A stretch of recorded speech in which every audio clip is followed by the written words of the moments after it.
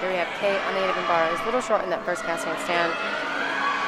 Into a giant full Gienger to a overshoot combination. Not sure if the judges are going to give her credit on that. Was the shoot over wasn't fully to horizontal. Slight hop or slight step on the dismount, but.